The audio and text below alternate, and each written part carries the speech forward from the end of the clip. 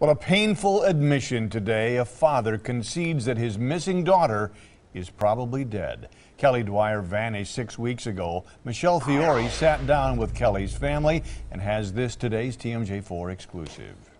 Our hearts are heavy tonight for Tony Dwyer. His hope is gone. Now he and Kelly's mom just want to know what happened so they can say an official goodbye. While Milwaukee police searched a landfill, Tony Dwyer did his own search, talking to Kelly's friends, to her employer, and those in her boyfriend's building. His conclusion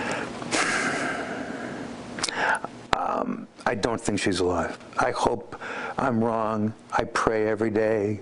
I want her to walk in for Thanksgiving or for Christmas. Tony and Maureen Dwyer now wonder how they move forward. Without a body, there's no closure.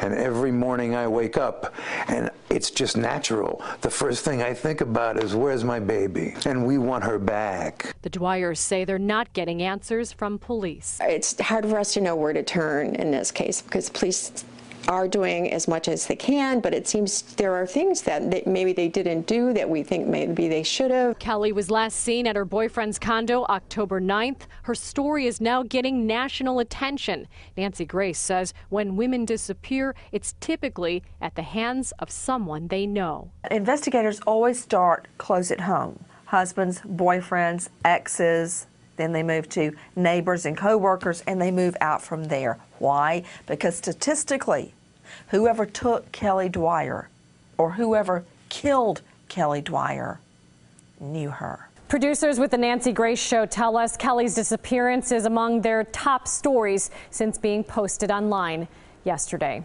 Mike and Carol.